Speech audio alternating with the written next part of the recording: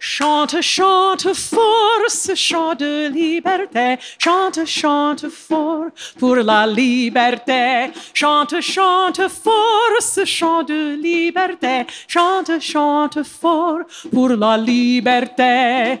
Chante pour la liberté. Chante pour la liberté.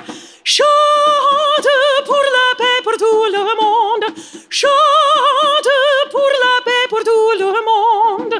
Imbeni wote un sauti moja amani, amani, amani, amani, amani, umoja. Amani, amani, amani, amani, amani, umoja. Chante, chante fort ce chant de liberté. Chante, chante fort pour la liberté. Chante, chante fort ce chant de liberté. Chante, chante fort pour la liberté. Chante pour la liberté. Chante pour la liberté. Chante pour la paix pour tout le monde. Chante pour la paix pour tout le monde. Imbeni wote un sauti moja amani, amani, amani, amani, amani, umoja. Amani, amani, amani, amani, amani, umoja. Chante, chante fort ce chant de liberté. Chante, chante fort pour la liberté.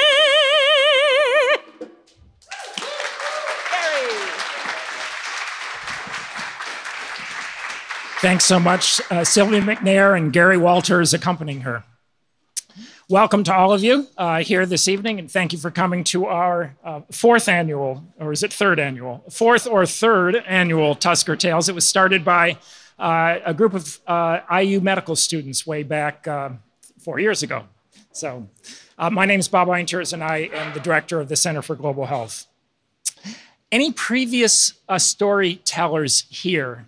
we just please stand up. I know there are at least a, whoop, a couple of you here. There's one. The, they're brave souls, and you can see they actually, for those of you who are giving stories uh, tonight, they survived. Uh, they, they did okay. Um, before we get started, I'd like to thank a few groups and individuals. Uh, WFYI is a co sponsor for this event and will be adapting Tusker Tale stories for uh, WFYI Radio. A special thanks, especially to uh, Kent Vernon and to Sean Jackson. Uh, they're from the utility room. They're over there. He's got a thing on his ear. So uh, if you're looking for a recording studio, uh, please look up uh, Kent Vernon. I, and uh, thanks as well to Clint McCullum, who's uh, donating his time to take photography. in fact, maybe right here. So thank you, Clint. Get a picture of someone other than me. and then in front, when you registered, uh, there were uh, several of, uh, of, the medical students, including former Slemenda scholars Madeline Vonderho and Ryan Smith. So thank you to you if you're here in the room. There you are, way back standing against the wall. Thanks so much. And uh, to all of you who have supported our research care and uh, training mission in Kenya and uh, AMPATH, uh, thank you for making all of that possible. If you're on social media tonight, uh, please uh, use the hashtag Tusker Tales and tag us at AMPATH Kenya. And lastly, I'd like to thank uh, Sylvia McNair again. Uh, she'll be our MC tonight. I think most of you know Sylvia, two time Grammy Award winner. She's been a terrific supporter of our program in Kenya, has been there on uh, multiple occasions, and uh, just a, a, terrific person, a terrific friend. And uh, I'll turn it over to you. Thank you. Thank you. Karibu! Kariburi sana. I'm so happy to see all of you here. It's a great, great pleasure for me to be part of the AMPATH family. And we have some wonderful stories tonight, so let's get started. Our first storyteller is Grant Callen. He's a third year medical student at IU, traveled to Kenya during the summer of 2017 as a Slemenda scholar. Grant is a native Hoosier, and prior to med school, spent a year in Tanzania, or Tanzania, as the Kenyans call it, working in a local HIV clinic and completing his capstone project in Swahili. Very impressive, Grant. His story is called Ambulances Without Nurses. Please welcome Grant Callen.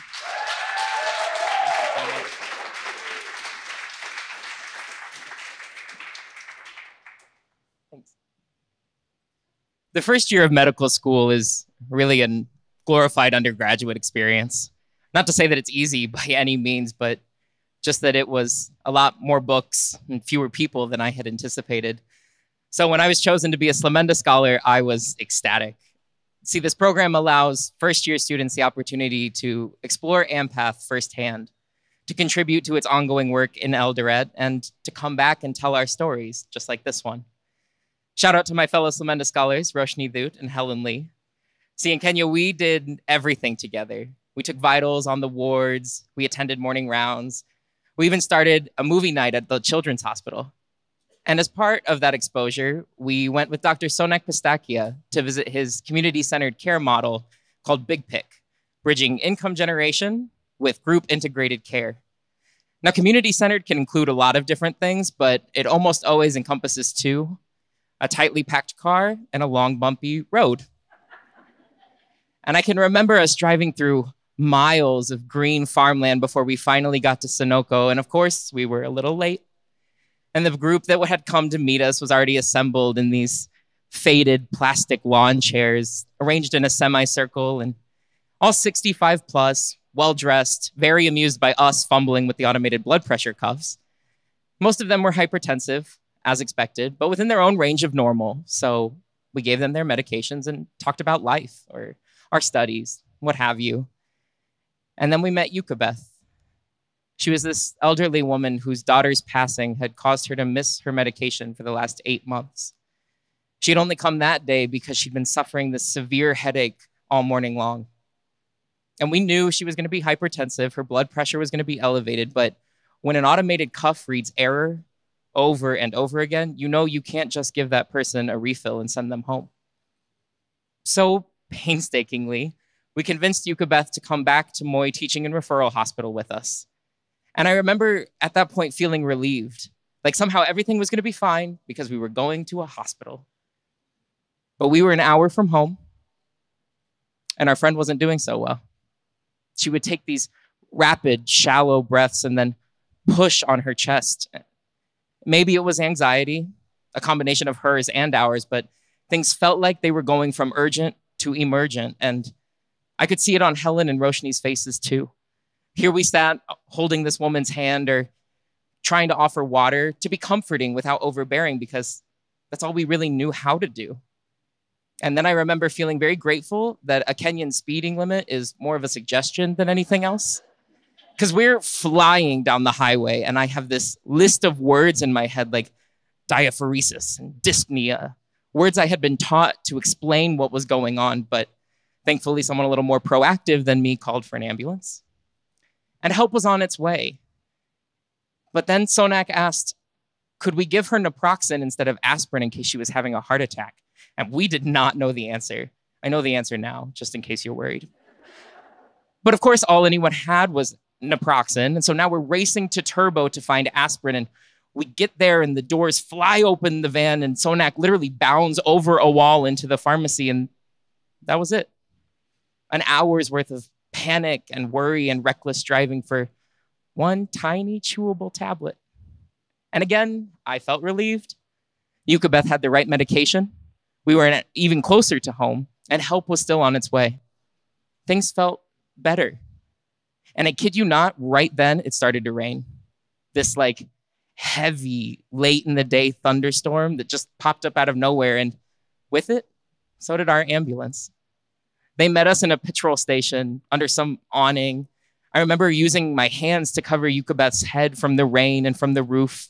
Up into the ambulance she went, and then she was gone.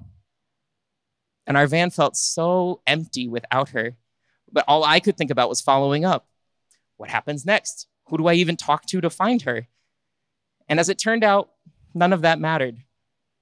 See, while we were deep in the hills of Sunoco, a nationwide nurses' strike had begun. 27,000 nurses walked out across the country and didn't return for another five months. Meanwhile, we had rushed Yucabeth urgently to MTRH just for her to sit there and wait for someone to admit her. And it was 24 hours before we finally found her hungry and confused, but very happy to see familiar faces. I remember squatting beside her wheelchair and holding her hand, trying to reassure her while Sonak went to find someone who could run this test that we wanted. And before I knew it, he had wheeled her away. And that was that. That was Yucabeth's story. Well, that's my story about her, more accurately. And telling it now, I'm shocked by all of the times that I felt relief, like the story's ending would be happy. See, I think in medical school, I had read so many books and just shadowed, and I hadn't learned how to be an amateur EMT. There was no course on how to fix the middle seat in your van when it gets stuck. But despite overcoming those obstacles, things still didn't work out the way that I had expected. See, as med students, we're taught that knowledge is power. And we think that if we have all the right answers, we'll pass the tests, and that's medicine. But the truth is that medical knowledge is really the last step in healthcare delivery. And in fact, when I think about it now, it's sort of the last thing that I had with me at the time. See, instead of knowing everything that there was to know about medicine, I needed to understand the system within which I was working. And I needed to know how to help those who didn't to navigate it successfully. Whether we're in Indiana or all the way in Eldoret, we need to advocate for our patients, for our colleagues, and for change when our systems are flawed. After all, what good are ambulances without nurses? Thank you.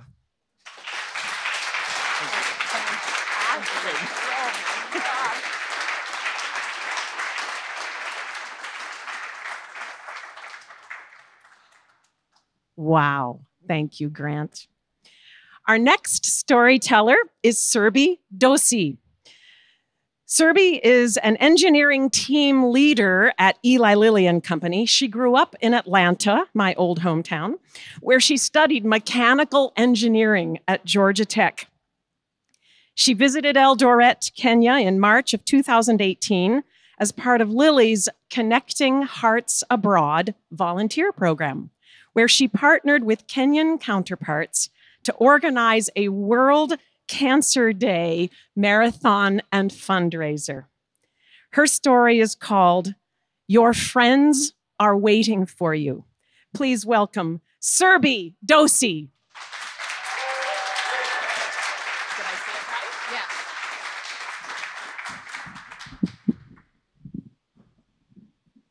Hi, everyone.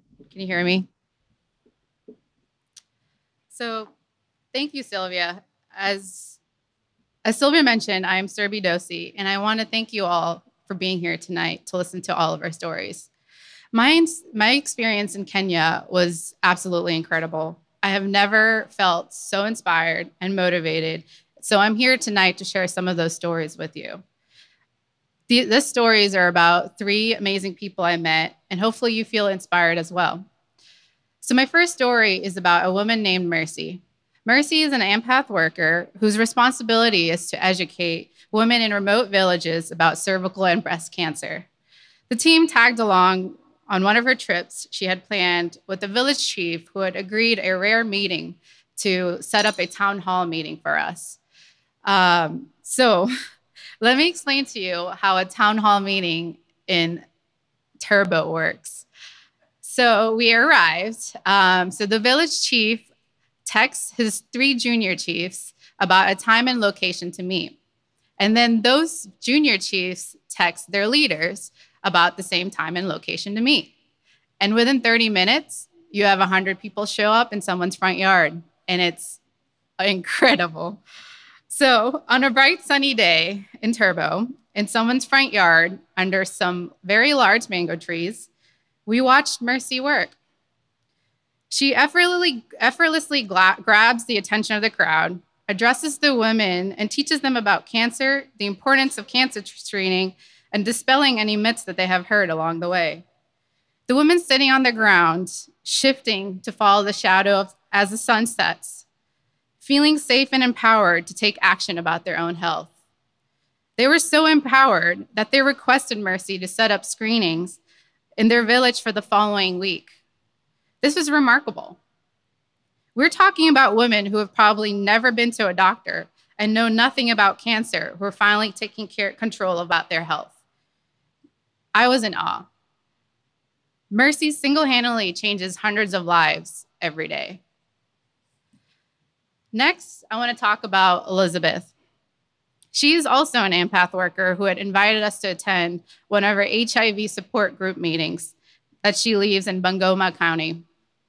We did not expect what, as we arrived, what we expected. So when we arrived, we had about eight women who greeted us and uh, welcomed them into their into their meeting room, which is an eight by six foot container, shipping container.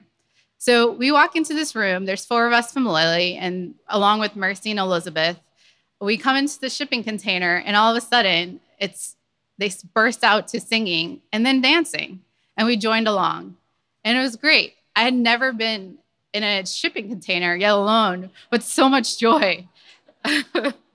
but also in that same container, we learned that Elizabeth herself had lived with HIV for the last 20 years. And she shared the challenges she faced in the community and how she overcame them. She has three beautiful children who were born with HIV negative and are the motivation for all the work she does today.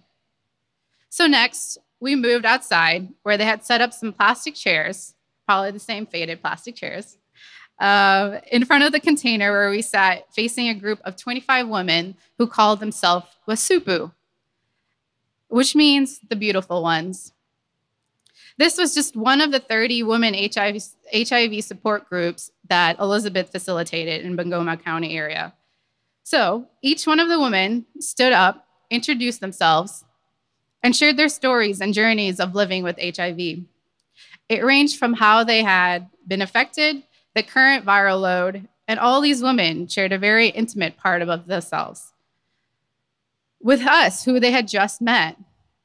So, their openness, their acceptance of us into their support group, and their willingness to share this story had me in awe. I reflected upon this phenomenon. Yes, I call it that because I don't think I could ever share such an intimate detail like that so easily with friends, yet alone a group of strangers. Could you? So, so let me go back to the first day when I had met David for the first time. David was a driver that had picked me up from the Eldoret airport and drove me to the IU house. After the few friendly exchanges, I expressed to him that it was my first time in Kenya, and I didn't know anyone here. David very casually turns towards me and goes, Don't worry, your friends are waiting for you. And I was, at first, I thought, I was like, he met the Lilly team at the IU house. And I didn't really understand that since I had not met from the Lilly team. And I just told, I knew no one.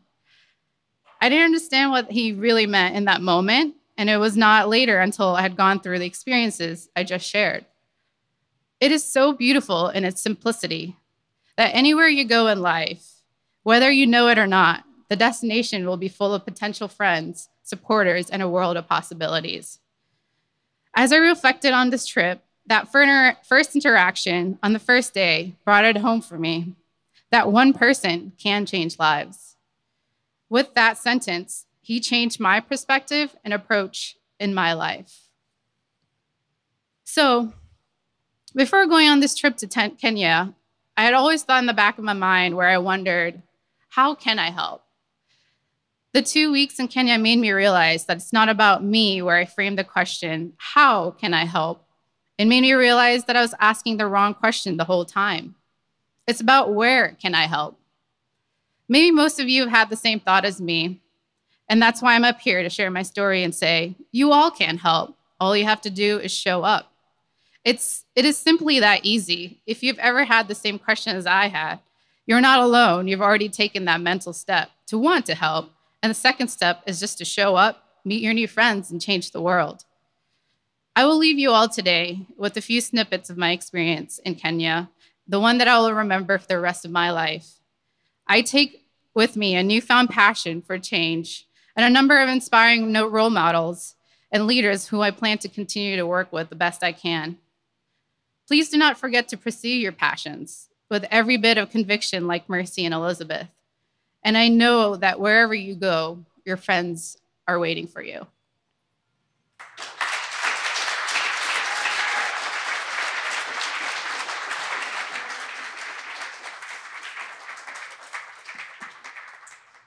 Great, Surabhi. Thank you. Nate Miller is a commercial unit leader for Corteva AgriScience, the agriculture division of Dow DuPont, where he's held several roles over the past 23 years. He first traveled to Kenya with the Dow Ampath partnership in 2012. His story is called Passion, Humility, and Corn. Please welcome Nate Miller.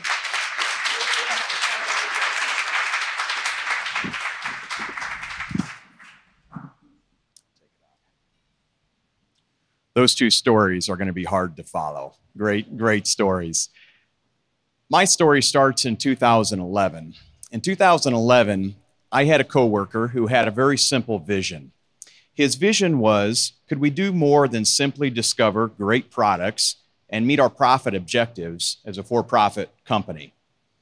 As we were involved in agriculture directly, could we not give back to our world in a small way by helping to alleviate the global hunger issue that was ever present in today's world?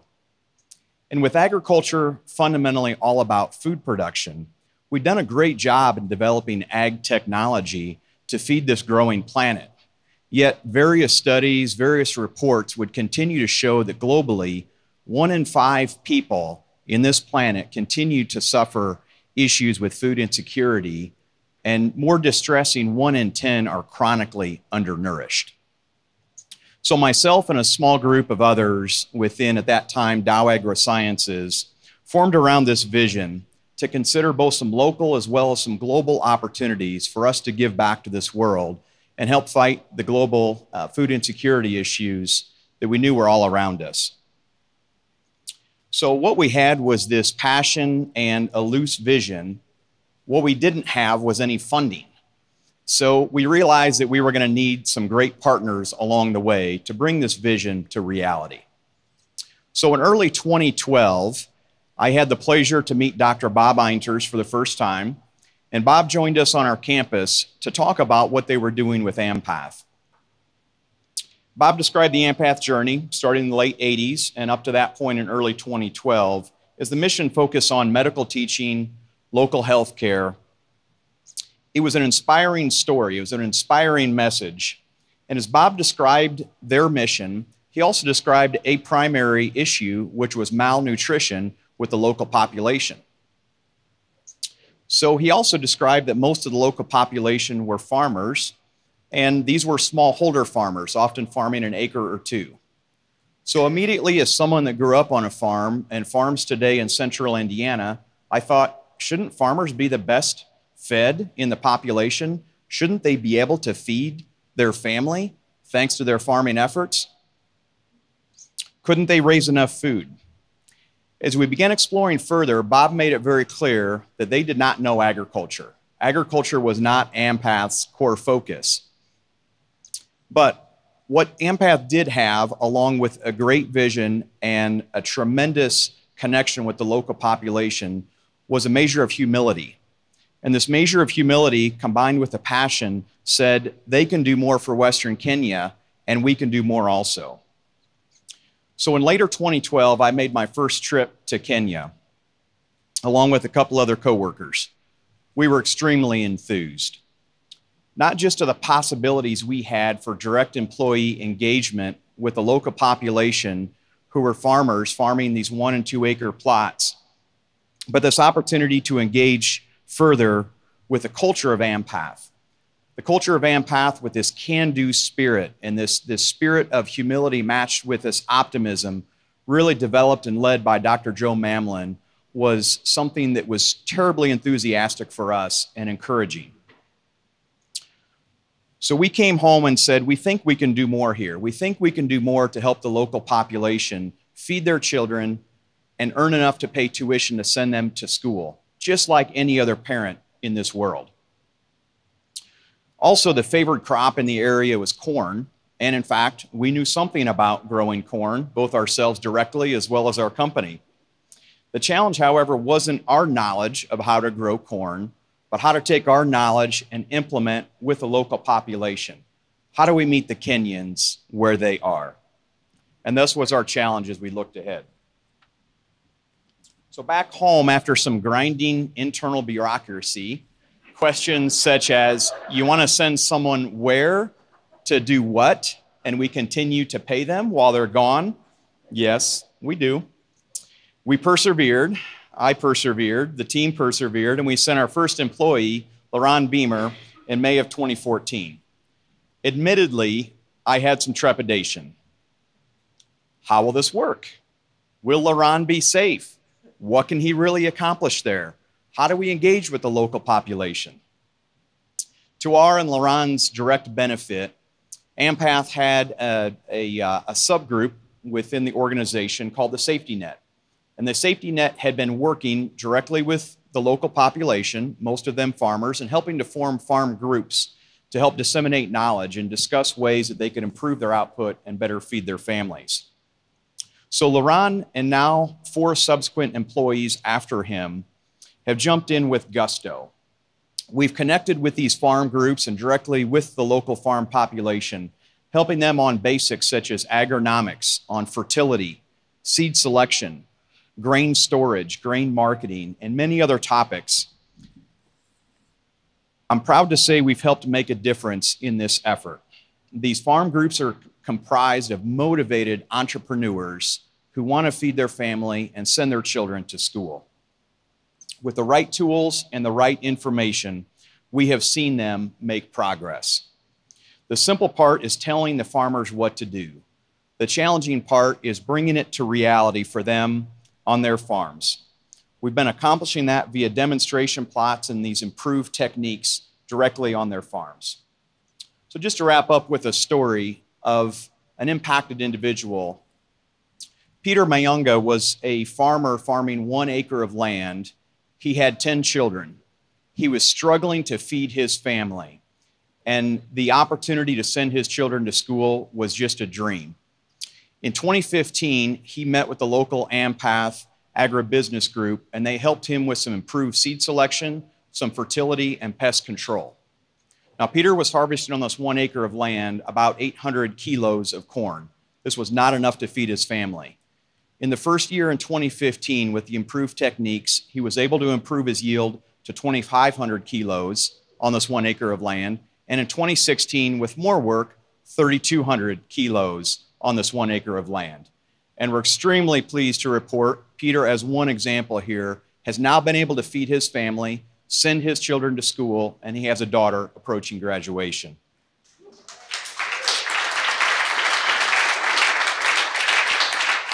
It, it, it's tremendous to see, and, and thank you for your enthusiasm. It's tremendous for me to see that these resource deprived farmers, with a small boost in terms of enhanced capacity and technology can truly improve their lives and their families' lives. And so I'm also proud that our new company, as we've gone through a corporate merger, now Corteva AgriScience, has dedicated itself again to this effort, and we will continue sending employees to Eldoret, Kenya to assist in these efforts. And I'm excited with the future and the possibilities of what we can accomplish in helping those in, uh, in Western Kenya improve their and their families' lives. Thank you.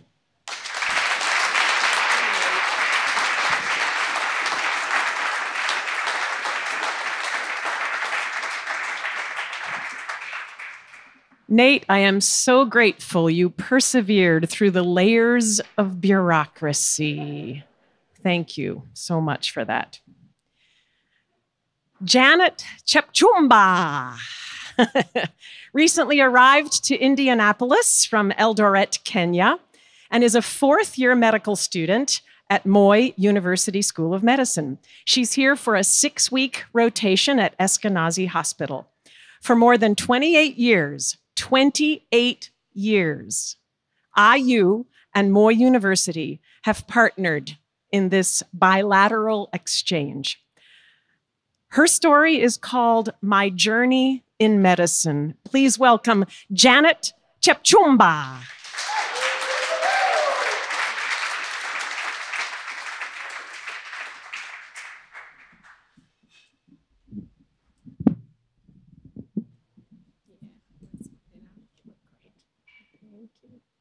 Thank you, Sylvia. I've never spoken in front of many Mzungus as I am today. For those who don't know, Mzungu is a Swahili word for white person. So if I start stammering, you'll understand why. So my story is titled My Journey in Medicine. I'd like to start with the motivation behind me wanting to become a doctor. So when I was eight years old, I got peptic ulcer disease. It's a disease in which you have erosion of your stomach or your intestines. So you end up presenting with symptoms like stomach pain, nausea, or vomiting. So I had these symptoms for a while, and it was not diagnosed that I had peptic ulcer disease because I had gone to a couple of public hospitals, and in Kenya, we don't have very developed equipment like you have here. So it took time before I was diagnosed. So my parents were finally referred to a pediatrician. It was a female doctor in Kenya at the time. There are not many female doctors. So she was very encouraging to my parents, telling me that this is something that normally happens and it's something that it can be healed. So from her, I derived a lot of motivation. I wanted to become a female doctor in a country where not many people have embraced education to female and profession like doctors in Kenya. So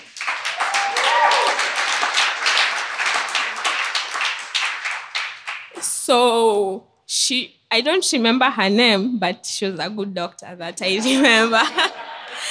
so anyway, she gave me good treatment, and ev- eventually I was healed after about five years. It took time, some time before I got better. And when I was 13 years old again, I got resistant malaria. You guys don't have a lot of malaria here. So, for those who don't know about malaria, it's an infectious disease in Kenya, not in Kenya, mostly in Africa, caused by mosquitoes. So, when it bites you, you get malaria. So, if you have resistant malaria, you've given you've been given drugs but the drugs are not effective so you continue having the symptoms for malaria. So you normally have headaches fever chills those kinds of things. So i got resistant malaria and the drugs that i was given were not effective. So i had to be given something else and i was given quinine. I think you guys say quinine yeah. So i was given that after being admitted so I was in the hospital for about a week. And after the quinine, I got better. So from the two illnesses that I had, and from the doctor who treated me, being a lady in a country where not many people have embraced education, I decided that I wanted to venture into medicine. So I got into high school in 2009 and I went to a mixed high school in Kenya. Most of the high schools are single sex high schools. So I went to a mixed high school. And if you're a girl in Kenya in a mixed high school, you need to work twice as much as the boys work because they always have this notion that they are better than the girls, especially in math and sciences. So, yeah, we used to wake up early, sleep late. Yeah. You do what you have to do depending on the circumstance. So we worked really hard, and I thank God because I was able to get good grades and I was able to qualify for medical school. So I joined medical school in 2013, that's five years ago. First year of medical school is tough. Everyone here who has been to medical school can attest to that. So it's really tough, by the way.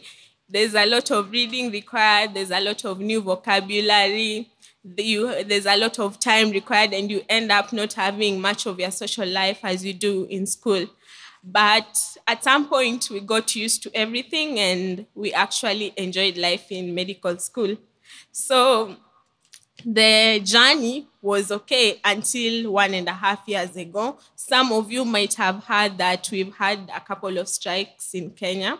I think the first speaker talked about the nurses' strike, which was there for about four months. So there were no patients for us to take care of.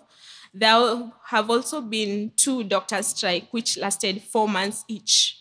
And there has been two, there have been two lecturers' strike also. So you can imagine all those strikes within a span of one and a half years, and all those strikes affecting you.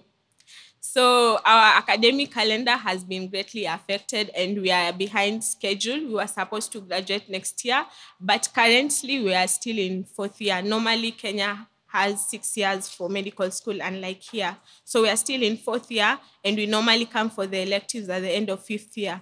So even coming here was an uncertainty for us, but we're happy that we've made it here. The people here have been so friendly to us. We've learned a lot from you guys, both in the hospital and socially. We don't have as much computers as you guys do here. We don't have as many cars as you guys here. Not many people work here, but in Kenya, it's the opposite. Socially, we've gotten to interact with many people in dinners and cookouts. We've learned new foods. Personally, I like nachos. Everyone has something they like.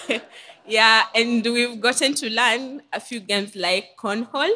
And all in all, I'd like to appreciate uh, the interaction between AMPATH uh, bringing Kenya and the US together. It's a good thing. And I'd like to end, to end my story by saying Asante Sana. And my journey is now ending. Uh, I started as being a patient and wanting to take care of people. And now my journey is ending as me taking care of the people. So, Asante Sana, that means thank you in Swahili.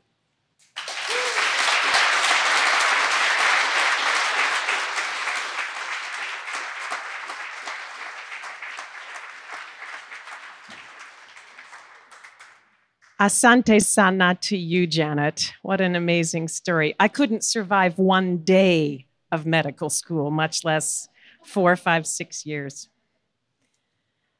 This next storyteller is a special friend of mine. Craig Brater served as the ninth dean of the IU School of Medicine from 2000 to 2013, and prior to that, chaired the Department of Medicine as the AMPATH partnership was being formed. He was there from the very beginning. He has introduced hundreds of students, faculty, and supporters to AMPATH and continues to provide volunteer leadership for the IU Center for Global Health and organizations all across the global health community. His story is called Unanticipated Impact and Rewards. Ladies and gentlemen, Dr. Craig Brater.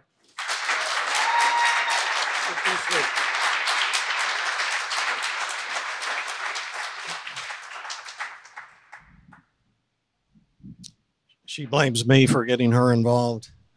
Um, so, um, thank you, I think, for the opportunity to do this. Um, unlike Janet, uh, I have had the opportunity to speak to a lot of Mzungas, um, but I don't recall being quite as uptight about it uh, as I am right now, as a matter of fact. It's a very different kind of, uh, of discussion. So um, I will relieve you. I'm not going to talk about me. Uh, I'm going to talk about um, our family more broadly. and I hope I don't cry.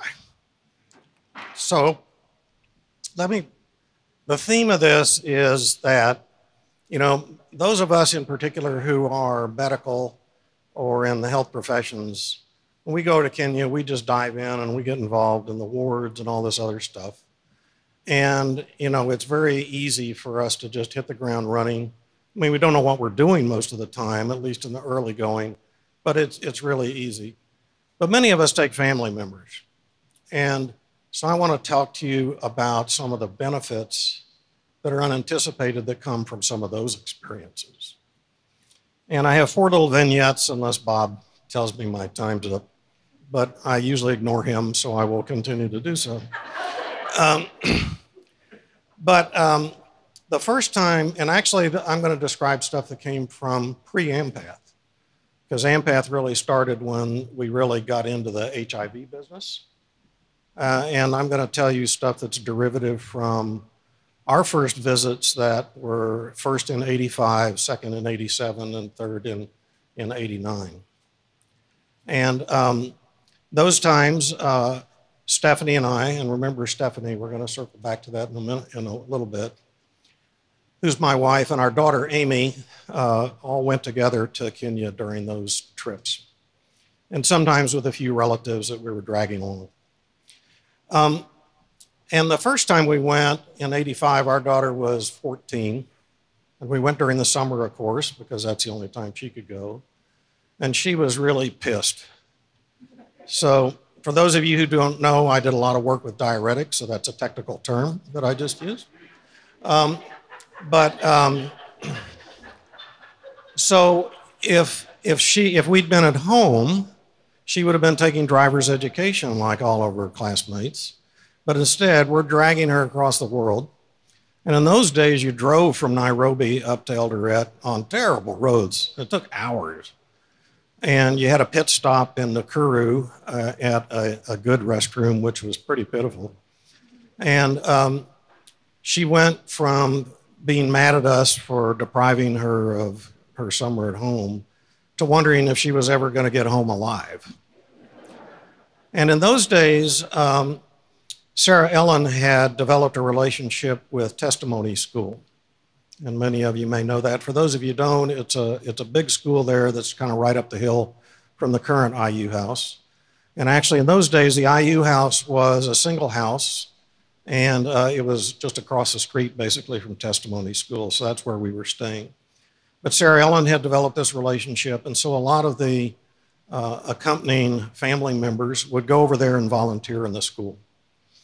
It was a big school, and they'd just go and just do whatever was needed.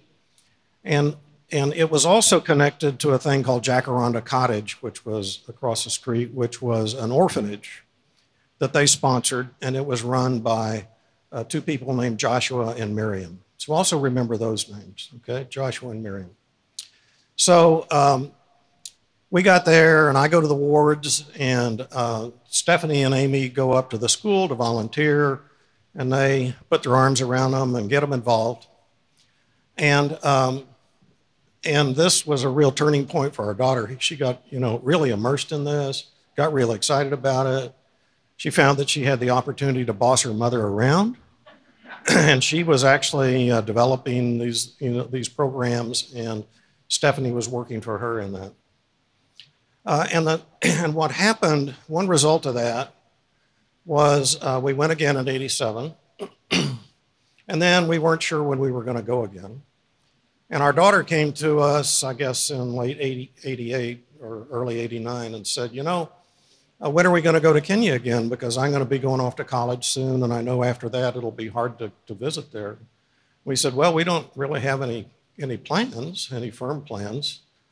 And she said, Well, you know, if this was the best of all possible worlds, I would uh, take about a, we'd go and I'd take about a dozen of my friends so they could get their priorities straight. And we said, we're going, and we went in 89. Okay. Next little vignette is uh, we took my mother when she was 78. My dad had died about a year before, and she was really hesitant about going, and we convinced her to go. And the, the notion was that she'd be able to see this uh, not only through her own eyes, but through his eyes. And uh, she just loved it. She got all involved, and I won't tell you all the details, but we got back, and she said, You know, this changed my life. And I'm kind of a smartass. So I said, Well, Mom, if I'd known that was going to happen, I would have taken you 40 years ago.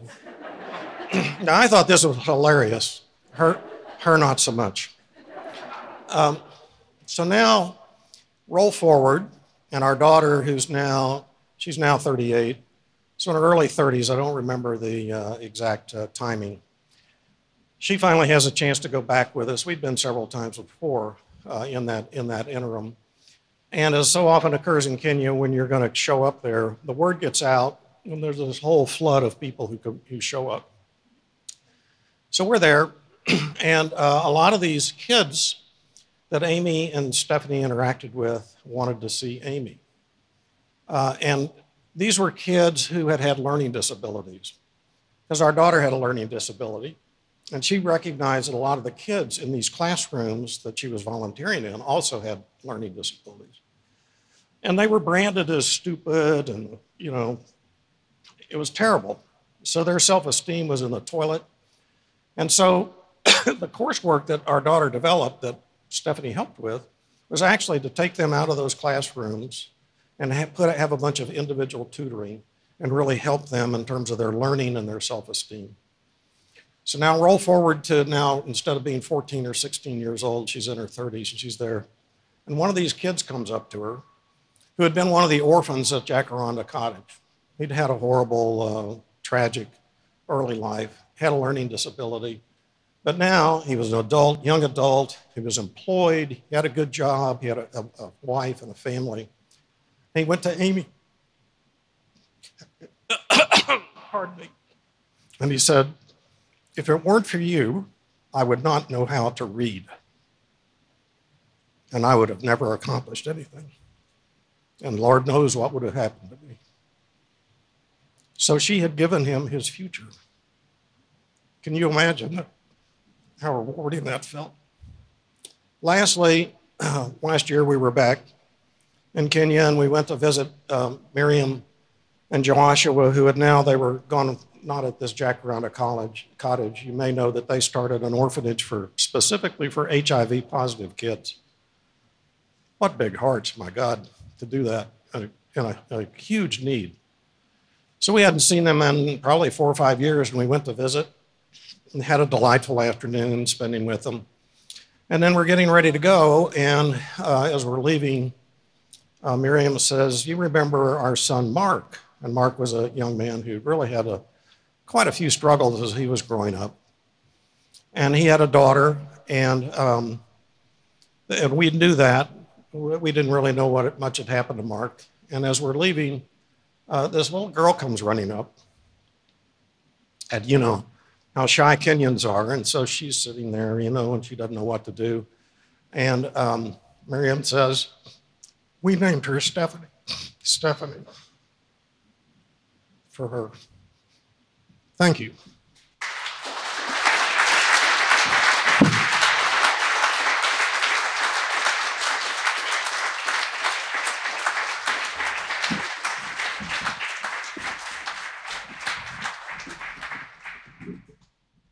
You see why we love that guy and why we miss him so much. Thank you, Craig. Our next storyteller is Michael Musili. He's also a fourth year medical student at Moi University, and he's visiting IU now. His story is titled The Light. Please welcome Michael Musili.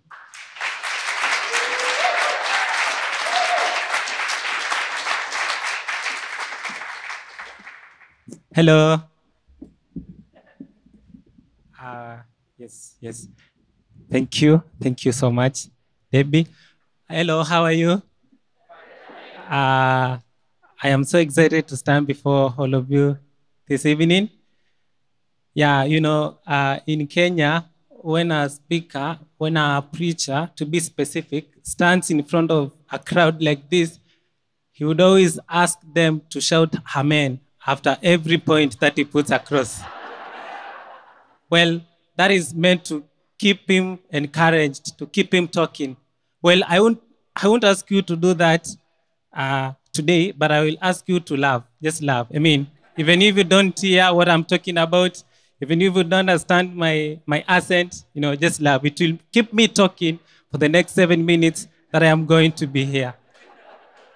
Yeah. Um, uh, my story, as you've heard, it's titled The Light. And the light in Kiswahili in Swahili, which is the language that we speak mostly in Kenya, means uh, Mwangaza. Back in Kenya, Mwangaza is a foundation, uh, scholarship foundation, which was uh, started back in the year 2000. It sponsors students who are doing medicine at Moi University and those who come from needy backgrounds. It was started by Haley, Haley uh, Thurston. She comes from Indiana, Indianapolis to be specific, to the north. I know most of you, okay, maybe some of you know her. Personally, I don't know her, and I, I look and as I look forward to meeting her tomorrow at 3:30, I can't wait to tell her how she brought light to my life, how she made me see the light in the darkness. My story, as you've heard, it's about light. I come from a very big family, a family of 10, 10 siblings. I am the last born in this family. It's such a big family. In fact, some of the cousins don't know each other. In fact, I have some grandchildren. I know most of you don't understand that. I I have some grandchildren in the sense that uh, my nieces and nephews, some of them have kids. So they call me grandfather. The other day, they were calling me while I was here. They called me the other day and they were telling me, you know, uh, grandfather, bring us something from US. And I was thinking, hey, do you know how life is expensive here? Because I, I remember there was this day I went um, to the barber shop to have my hair cut. You know, I had to part with $25. A whole $25. That is 2,500 Kenya shillings. That is amount of money which can sustain me for a whole, almost a whole month. Let me say three weeks.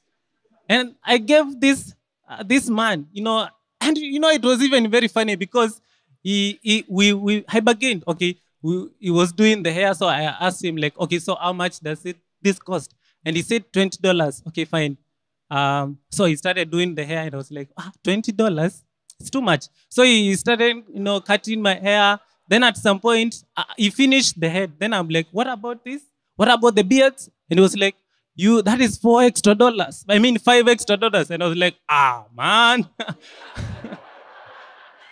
so I had to pay five extra dollars to have the, this one's cut for me to look presentable before you today. Actually, actually, yeah, if it if it were not for this day, honestly, I would have had my hair cut. Because it's too expensive, man.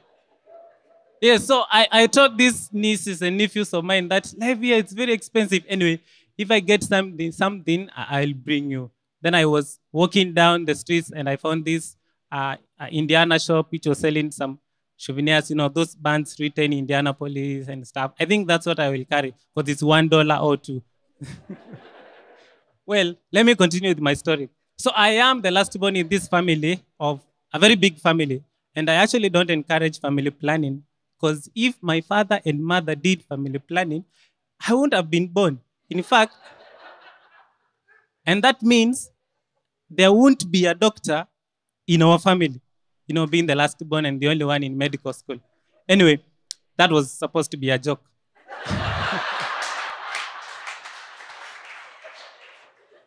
well, so uh, I was the first one in our family to gain education.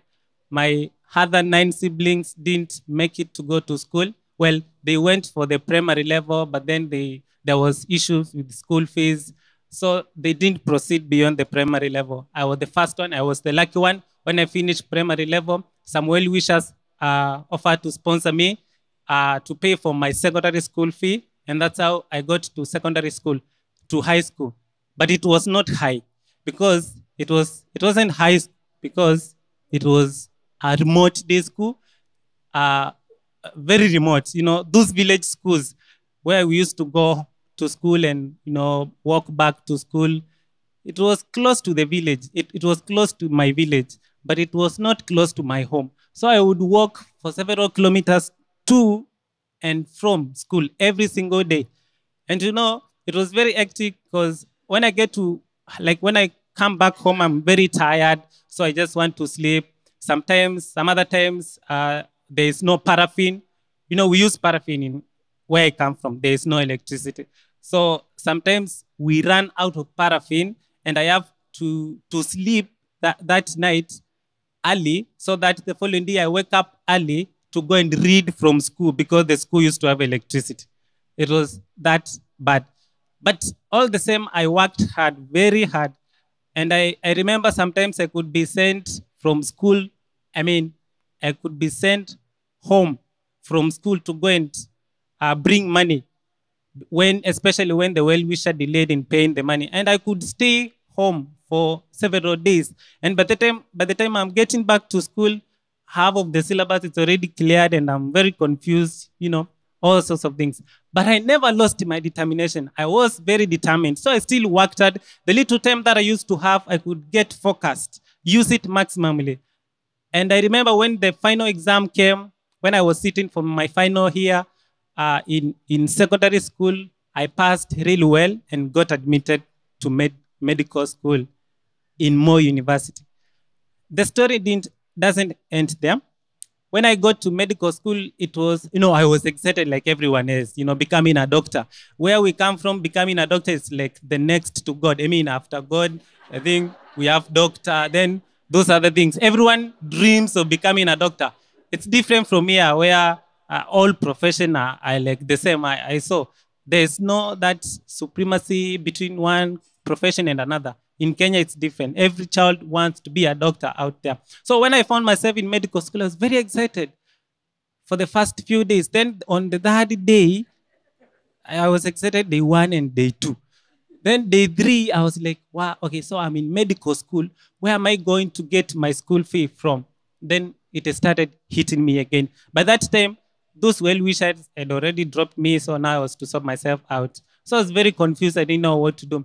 And I remembered at some point I was contemplating should I drop medicine and go and pursue another course because in medical school we stay from we stay in school from January to December. Are you getting me? Am or my English is different? Well, I hope you are understanding me. So we stay from we stay from school, I mean, we stay in school from January to December, no long holidays. Other courses do have long holidays, like you find you study for six months, then the other six months you are out of school, so you go do some job somewhere. So I wanted to go and do that. I mean, to leave medical school and go pursue another course, so I will have enough time to do. I mean, so we studied for six months, then for the rest of six months, I'm out there working to get money to pay for the subsequent year. You are getting me? Well, but then I remembered the reason why I wanted to be a doctor. Because I, I remember at some point in time, my mother was very sick. She was diagnosed with TB and she was there sleeping, uh, hopeless, and I was there helpless. Didn't know what to do. It really hurt me, and I was like, no, if I was a doctor, probably I would have treated her myself, or else I would have taken her to an hospital where she would have gotten good care. So that really motivated me, and I said, I purposed that I am going to study hard to become a doctor. So when I was contemplating between leaving medical school and going to pursue a different course, now the thought of becoming a doctor and the motivation that I had came. And I was like, no. It was now during this time, this uh, state of confusion, of dilemma, while I was in darkness, not knowing what to do, it's when I heard about Mwangaza. Mwangaza, I applied for this uh, scholarship and I, uh, I got it for the last four five years that I've been in school. Mwangaza has been paying my school fee. I am very, very grateful to this organization, to Mrs. Ellie and every other donor who are putting money towards this uh, program. You have, you have helped us see the light where there was darkness. You have helped us uh, uh, move, and you have put us in a situation where we are able to reach to our dreams. I said dream of becoming a surgeon, I said dream of becoming a doctor, I said dream of uh, uh, um, becoming a doctor and helping people out there, this is cause mainly because of the of this scholarship uh, that I got from AMPATH. It is part of AMPATH. I am so uh, grateful for that.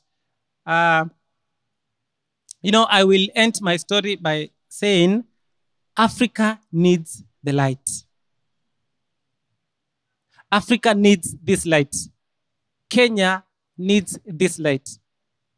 And every family in my community needs to see this light. It is this light that will bring change in our nation. It is this light that will bring change in our continent. It is this light that will bring change to the whole world. Whatever that you can do to bring light in someone's life, do it. I will end finally by quote. This is my quote that those in the light reflect the light for those in darkness to see the light. Thank you so much.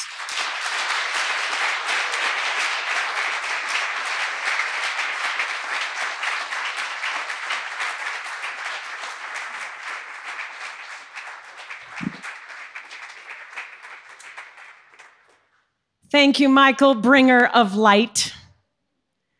And I think if the medical school thing doesn't work out for you, maybe you could become a preacher or a politician. I'd vote for you. I'd vote for you. Well, I am one of the thousands of people that Craig and Stephanie Brater brought into the AMPATH program. Just in case there's somebody in this room who does not know what AMPATH stands for, the word, the, the letters stand for academic model providing access to healthcare. And the last I heard from Dr. Joe Mamlin, there are 4 million, 4 million Kenyans who now have access to comprehensive medical treatment and healthcare because of the work that Indiana University and Moi University are doing in Western Kenya. Yes, there are other universities in the consortium, of course, there are. But Indiana University is carrying the lion's share of the load. I was a faculty member at IU Bloomington for 10 years at one of their more prestigious schools, the music school. But I can tell you that I believe with my whole heart the best work, the best work that Indiana University is doing is the IU Kenya partnership, medical partnership.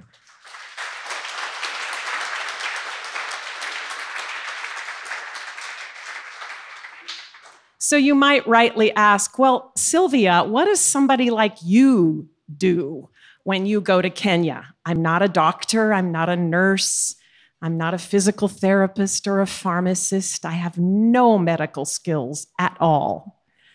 So I do things like organize the Stephanie Brater Library at the Children's Center in the hospital. I do things like hang out at NEMA School, which is the school and the orphanage that Craig was talking about, run by Miriam and Joshua Mbithi. In fact, I've adopted a little girl who's living at that school, and I'm very proud to support her. Her name is Anastasia, and she is gorgeous. She's so beautiful. I do things like organize, produce, and perform in a concert. In fact, the last time I was there, it was a concert in the Chandaria Chronic Disease Center. Sort of the, the building was just opening, really. And I decided to call these concerts a concert for peace. And I know how Janet feels about talking in front of a lot of mzungus, because when I sing concerts in Eldoret, I have to sing in front of a lot of Kenyans. And I'm even so brazen as to sing in Swahili in front of a lot of Kenyans. So I'm going to close I'm going to close this this evening's storytelling by singing a song that I learned on one of my very first visits, I believe, to Kenya, thanks to Wycliffe, who was my Swahili teacher. Oh, you've taken Swahili lessons with Wycliffe, I see. This song is a wonderful song. It was written by a wonderful Kenyan musician by the name of Eric Wainaina, who actually studied music at the Berklee School of Music in Boston. This song sort of became Kenya's unofficial national anthem in 2007 after the election violence which took over the country. And it's a beautiful song that talks about the four colors in the Kenyan flag black for the color of our skin, red for the blood that we have shed for freedom, green for the earth which sustains us, and white for peace.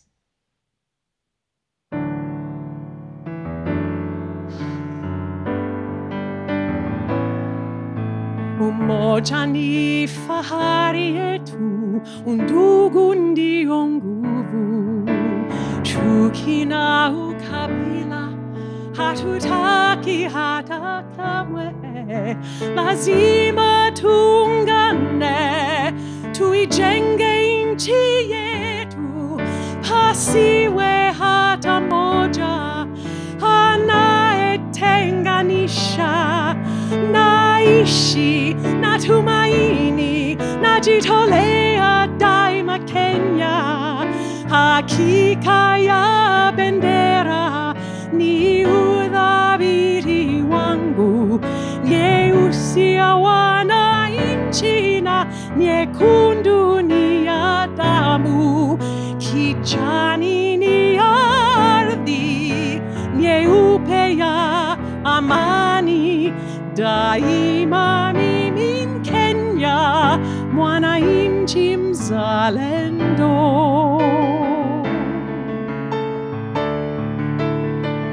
Oh, oh, oh, all together naishi na tumaini najitolea daima Kenya, hakika ya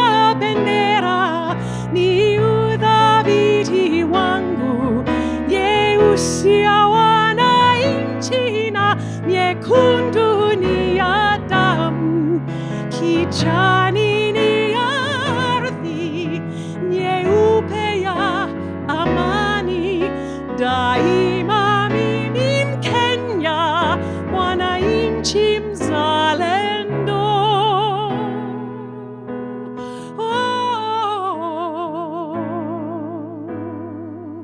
daima mimi Mkenya, mwananchi mzalendo.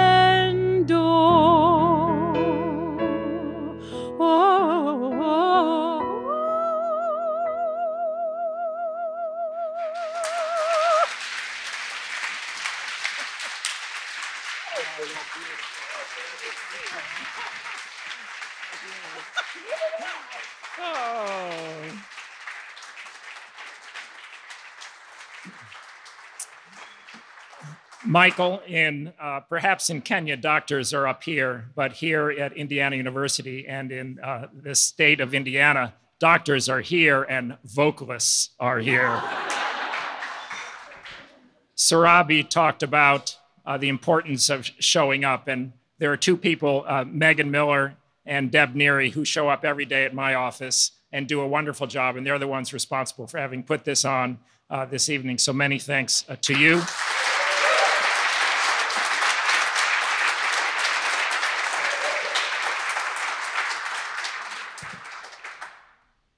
And uh, for the storytellers uh, for this evening uh, who showed up, it takes a lot of courage to do it.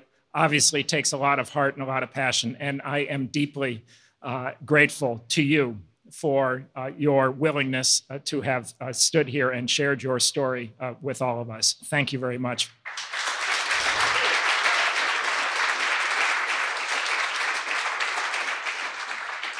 And lastly, to all of you who showed up today and made that leap of faith and joined with us as we uh, join with our Kenyan, our Kenyan colleagues. Thank you so much for being here, and I look forward to seeing you again next year. Have a nice evening.